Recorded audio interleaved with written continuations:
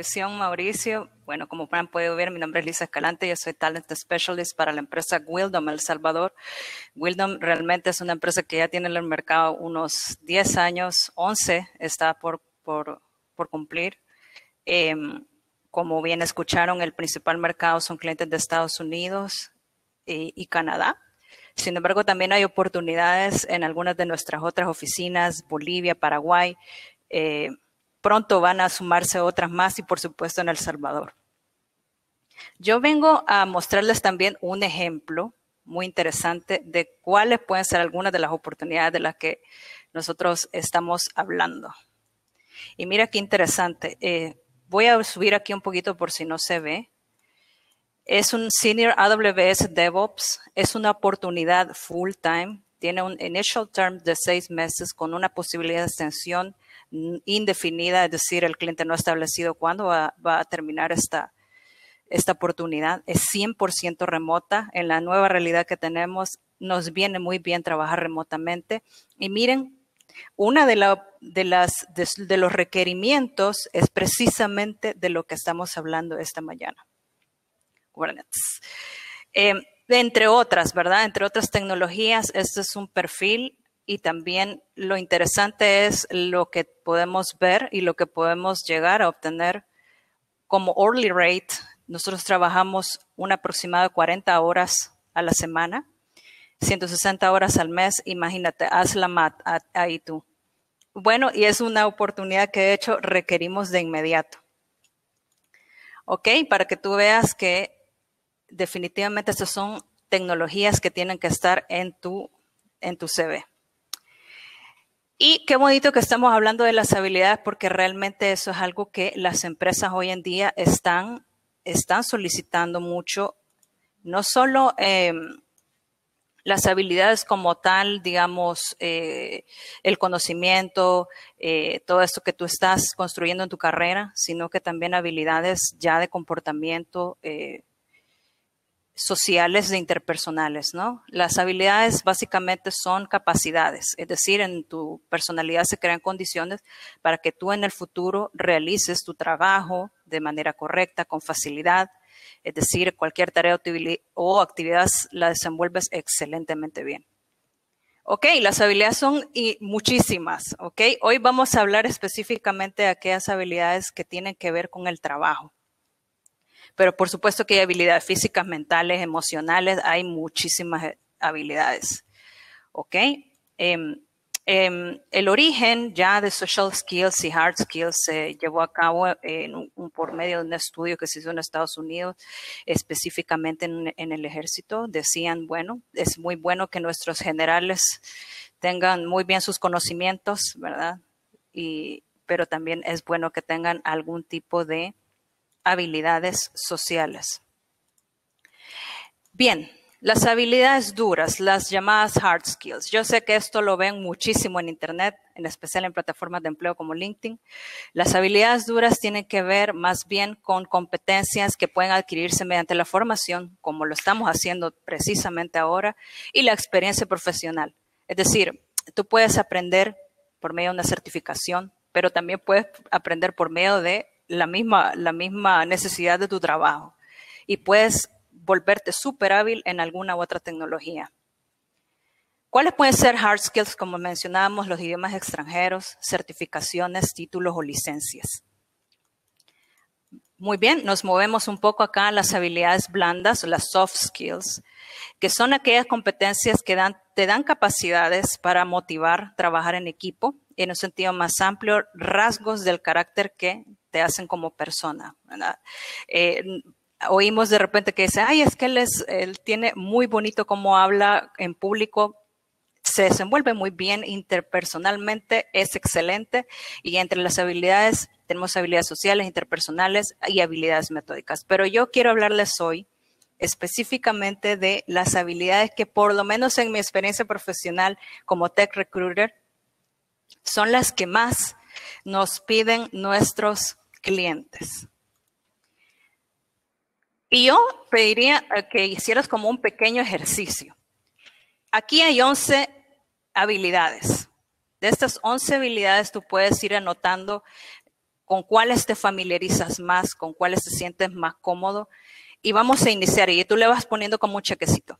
Y al final vas a ver cómo, cómo, cómo está tu, tu, tu set de habilidades. La número uno es la capacidad de integración. Esto es muy importante. Wildom trabaja usualmente por proyectos. Eh, puedes pasar de un proyecto a otro. Por tanto, la habilidad de integración es muy importante porque te vas a integrar, vas a llegar a trabajar con un ecosistema que ya existe. Entonces, es excelente que tú puedas desenvolverte rápidamente. Ok, la siguiente, el trabajo en equipo también es muy importante porque te da la oportunidad de repartir tareas de manera equitativa en tu trabajo. Hay cosas a las que vas a ser más hábil, hay cosas que los que no. Entonces, eh, esto te da la oportunidad de repartir equitativamente tu trabajo y también si tú eres eh, un manager, también te da la oportunidad de repartirlas de manera eh, adecuada, con sentido, hacia un fin. El trabajo en el equipo, al final lo que tú quieres es conseguir alcanzar una meta o conseguir un objetivo. ¿Ok?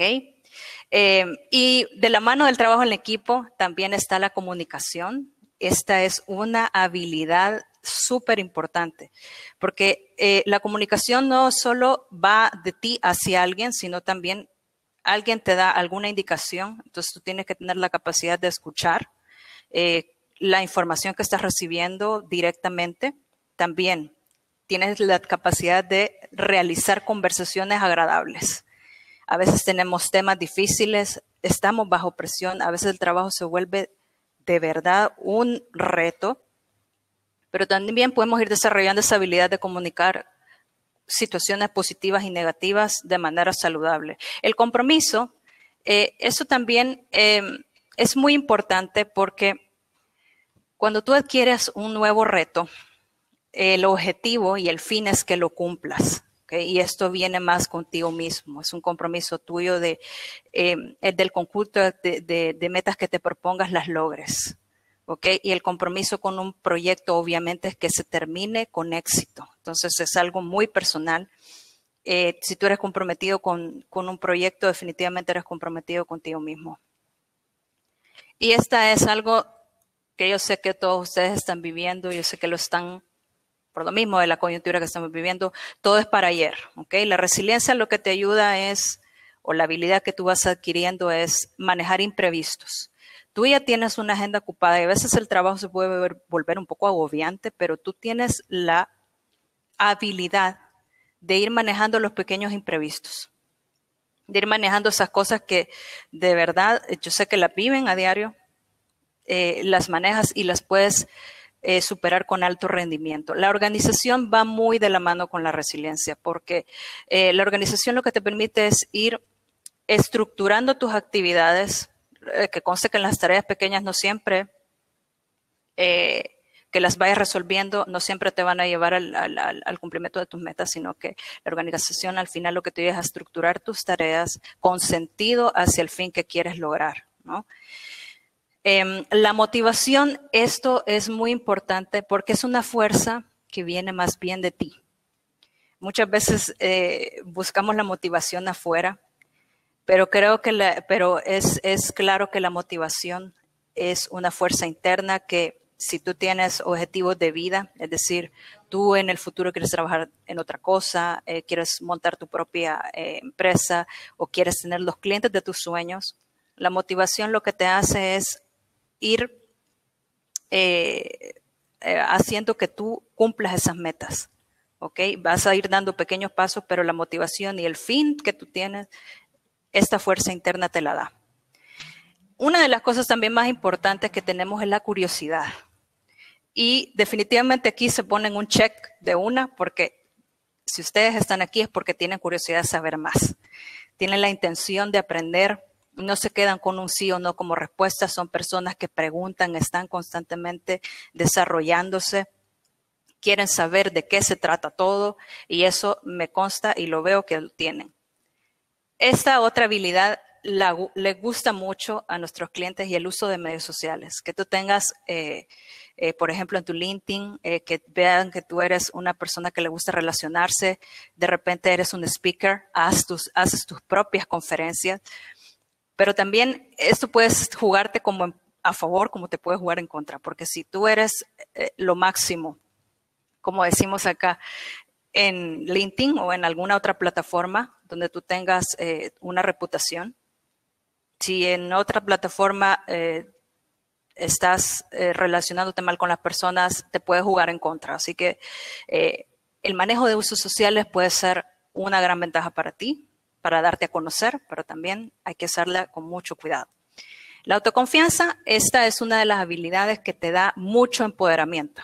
Es decir, a la hora de que te presenten una oportunidad, tú tienes la confianza de tus conocimientos, de todo lo que has, eh, de toda la experiencia que has ido adquiriendo, y eso te da la seguridad de saber cuánto o cuál, cuál va a ser tu rate cuando tú vayas a una entrevista mm, y te ofrezcan mil dólares, o sea, 800 dólares para todo lo que hay que hacer, te vas a quedar como no yo, tengo mis conocimientos, yo definitivamente sé que puedo ganar más y te va a ese poder de negociación. Así que la autoconfianza es muy importante. La gente eh, empieza a ver eh, el nivel que tienes. Y finalmente, eh, este ejercicio también nos, nos, ha servido para hacer un poco de autorreflexión. Si bien es cierto que sabes que tienes habilidades positivas, que tienes una gran confianza en ti mismo, muchas de estas habilidades, también es muy bueno eh, que sepamos reconocer cuando hemos cometido errores y aprender de ellos. Ok, este es um, un poco las habilidades que nuestros clientes buscan mucho, nuestros desarrolladores son las personas que aplican a nuestras posiciones. Em, no son inherentes a, a las oportunidades Wildon, pero viene bien conocerlas porque definitivamente hay desafíos. En el mundo laboral actualmente podemos ver que tenemos algunas coyunturas, ¿no? Tenemos una situación eh, que te puede retar a ti mismo. Sé que muchos de ustedes se han visto en la situación de tener tareas tras tareas eh, y encima aprender sobre la marcha, estar en el self-learning, ¿ok? Aprender con el tiempo en contra. Hoy muchas personas se están preparando y por supuesto que hay una gran competitividad. Eh, los chances de obtener empleos buenísimos eh, dependen mucho también de que te prepares. Hay una gran competitividad, por tanto tú tienes que estar aprendiendo idiomas nuevos. el inglés en nuestro caso es un idioma muy requerido es deseable que lo tengas, sería ideal. Que estés eh, aprendiendo nuevas tecnologías, así como lo están haciendo hoy. Yo sé que lo, ahorita usted está aprendiendo súper, súper un montón. Eh, y también que menciones qué metodologías de trabajo. Hay, ahora hay muchas metodologías nuevas de trabajo y que están siendo muy requeridas. Pero ¿cuáles son algunas de las oportunidades? Mira, tenemos muchas opciones de aprendizaje y muchas de ellas son gratuitas, como, como ahora que estamos en este evento excelente. También los mercados de trabajo se abren si tú te preparas. Si tú te preparas más, aprendes inglés, aprendes idiomas, aprendes más, los mercados, ok, se abren. No vas a trabajar nada más para El Salvador o para el país de donde vengas, sino que puedes trabajar para empresas como en este caso con nosotros Estados Unidos y Canadá. Entonces, mientras más aprendes, te vuelves más competitivo. no dudo que muchos colegas reclutadores estén buscándote, como yo, estén buscándote y estén constantemente, mira, esta oportunidad te puede interesar. Y bueno, por tanto, eres más competitivo, ¿ok? Eh, otra de las oportunidades es preparar muy bien el CV y preparar muy bien tu entrevista. Y en este caso yo quiero darte algunas recomendaciones. Eh, yo sé que tal vez ya las haces, eh, no viene mal un refuerzo, pero si, si, si las puedes observar, estaría bueno para cuando apliques a una nueva oportunidad. Yo lo llamo como el CV ideal. Eh, muchas personas, clientes, no tienen las habilidades o los car skills que tú puedas tener y de repente no puedan entender mucho el lenguaje del que hablas, aunque en la mayoría sí lo es, pero de repente puede ser que no. Para mí, el CV ideal tiene como cuatro grandes momentos y una es el encabezado, el resumen, tu educación y la historia profesional. En cuanto al encabezado, nos interesa que pongas tu nombre. Hay algunos que no sé por qué no lo ponen, pero nos interesa que pongas tu nombre. Tu contactos. Esto es súper importante. Teléfono donde te podamos encontrar. Y si no tienes, si no puedes contestar teléfono, de repente puedes poner tu correo para que te podamos contestar ahí. Tus perfiles donde tienes, qué sé yo, repositorio, portafolios.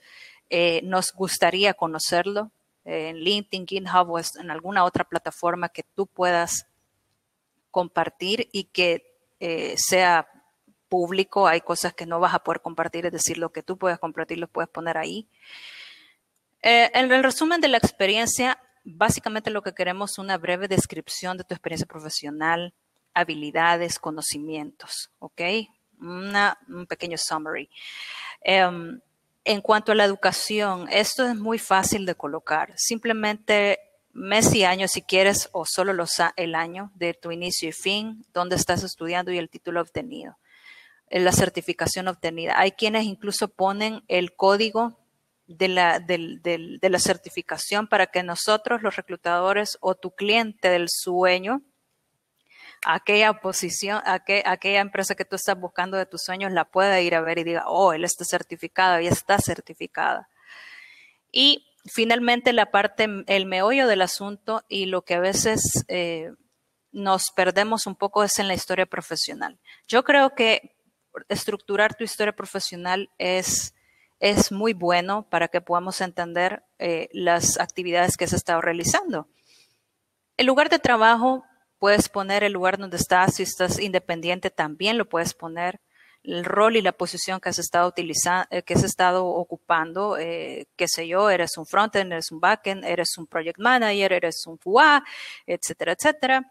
Me puedes poner el nombre del proyecto donde tú has estado trabajando. Si son varios, vas a ir proyecto por proyecto estructurando la información, el nombre de tu proyecto, las principales tareas y logros, y finalmente tecnologías y metodologías que utilizaste o algunas otras herramientas de trabajo. Este es un ejemplo que, yo que agarramos de la internet, no es un CV eh, Wildom. Nosotros tenemos una estructura interna de cómo, cómo presentamos a nuestros clientes. Pero eh, no te fijes en la información, más fíjate en, lo, en lo que está highlighted, o sea, lo más, lo que está aquí en, en negritas. Ok, el nombre, su perfil. Eh, esta es una estructura muy buena. Ok, un pequeño profile, su descripción, las experiencias, la experiencia que tienen, las principales skills, habilidades, que es lo que estamos hablando hoy. La experiencia profesional va por, por, por, por oportunidad, ¿ok? El rol que ocupó. Él es el fundador, de hecho, de esta, de esta CV template.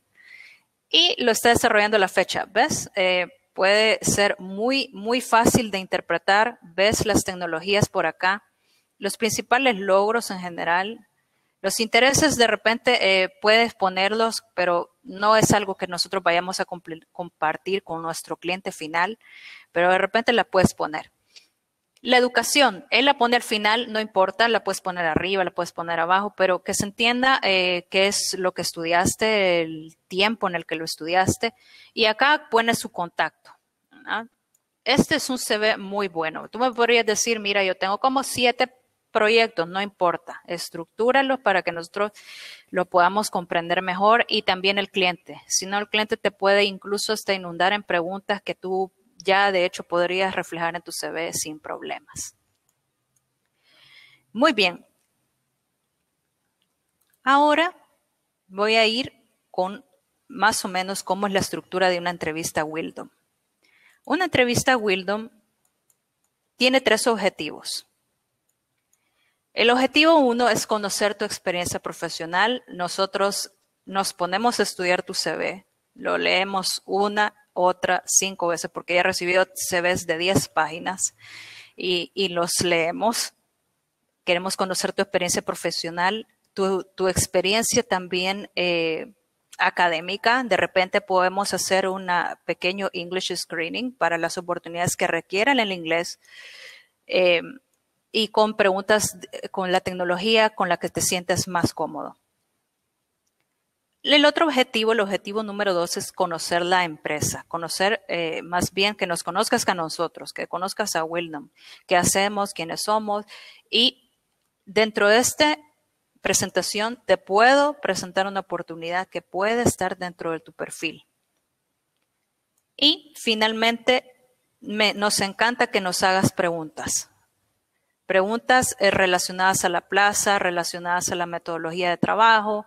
Em, porque eso nos da la, pauta de que te interesa la oportunidad.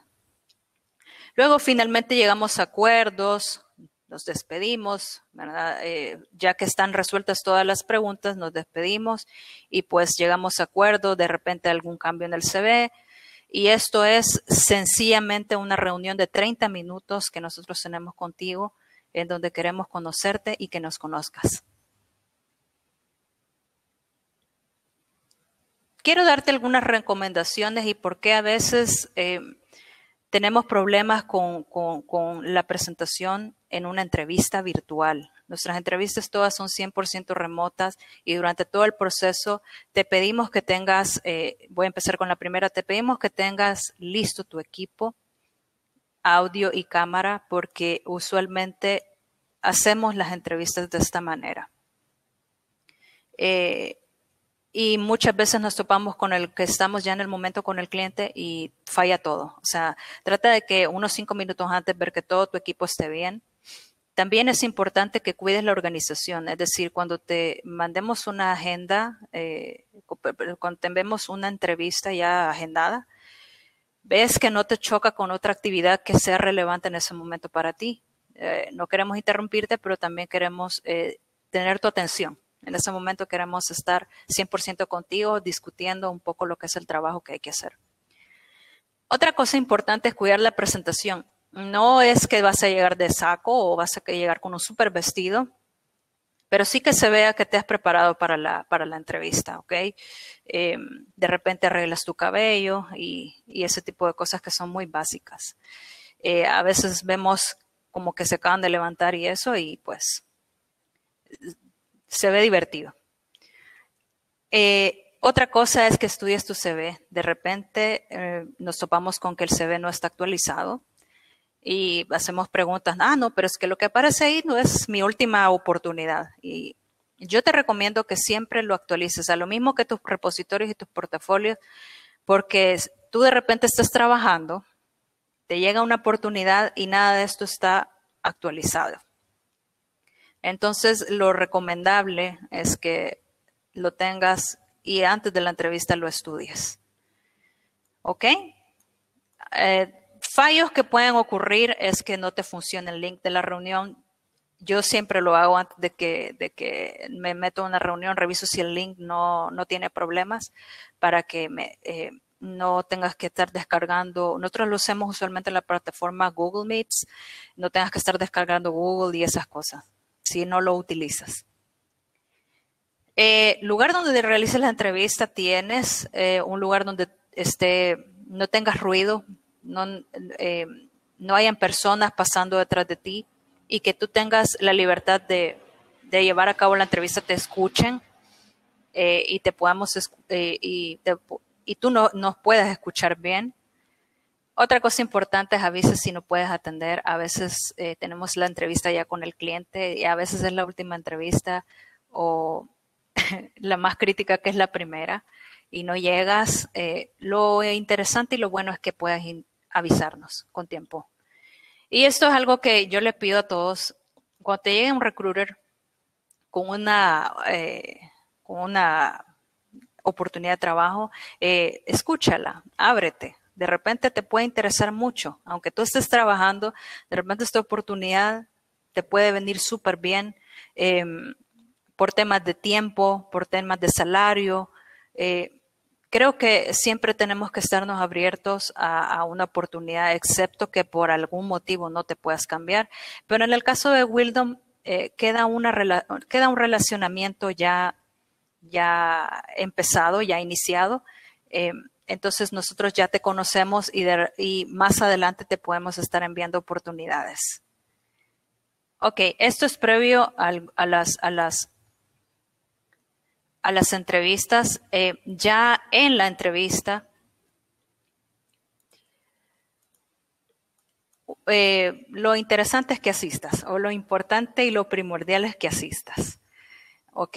Em, si tú confirmaste que vas a asistir, si me reconfirmaste, digamos, por correo, sí, voy a asistir, no hay problemas con el horario, y no llegas em, y no avisas, em, yo creo que lo ideal es que llegues, ¿ok? Se ve, se ve que o, te pasó algo de emergencia, eso también puede pasar, pero lo ideal es que asistas, porque a veces tienes la oportunidad y de repente esta puede ser tu oportunidad de tus sueños con el cliente de tus sueños y, y se pierde.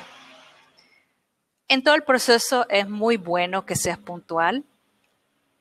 Eh, si te decimos a una hora, pues llega la hora. Eh, creo que esto es muy básico. Estas dos son muy importantes porque esta es una de las razones por las que a veces se caen los procesos. Es porque no, digamos, te vendes como que conoces todo. No te, puede ser que no seas tú, pero algunos candidatos o candidatas sucede que eh, sí sé eso, todo el perfil que buscamos resulta que lo tiene.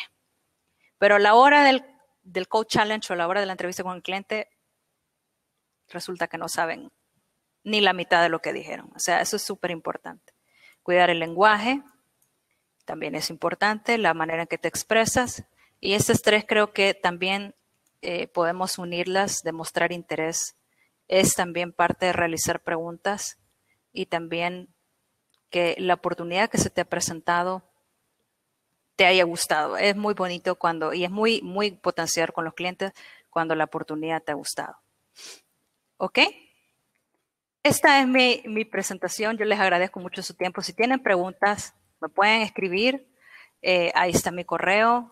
Yo con mucho gusto eh, les agradezco su tiempo, su disponibilidad y pues hasta aquí llega mi intervención. Que tengan feliz día. Ah, si alguno tiene alguna pregunta, eh, pues eh, quiero ver el chat, cómo estamos ahorita.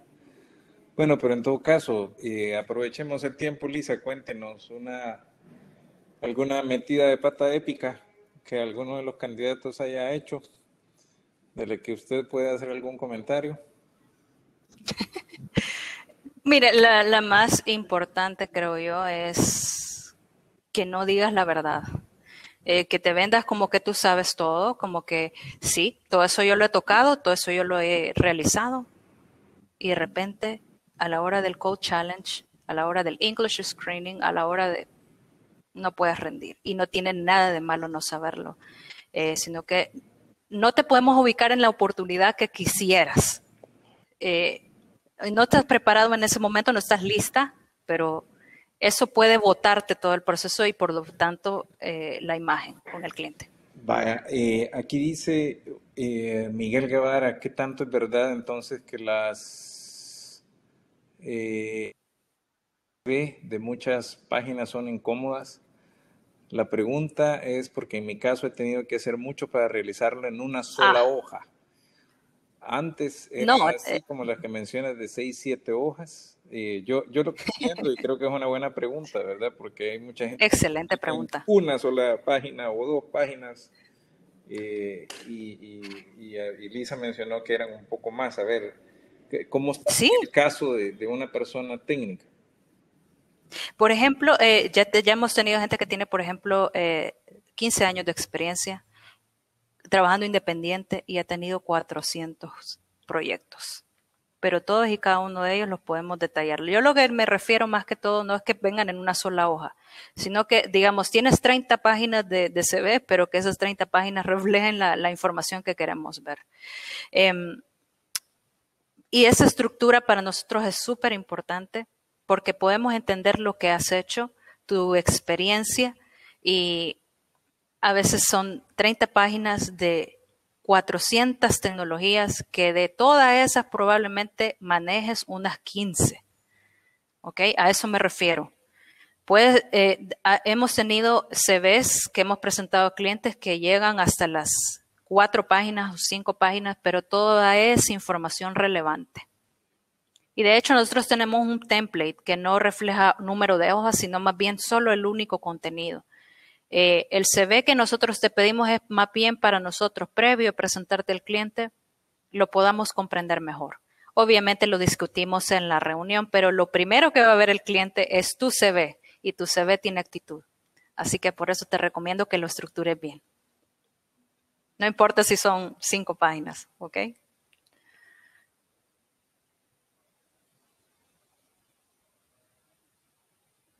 ¿Alguna pregunta más? Eh, dice también Miguel Guevara, es imperativo ser bilingüe para poder oportunidad laboral con ustedes. No, tenemos oportunidades también en las branches, como les mencionaba. De repente podemos tener alguna oportunidad para Argentina, alguna oportunidad para Paraguay, Bolivia. Eh, o incluso para El Salvador, algún proyecto que tengamos para acá. Eh, o nuestro cliente resulta que en Estados Unidos es latino y puede trabajar perfectamente con, con em, candidatos que no necesariamente hablan inglés.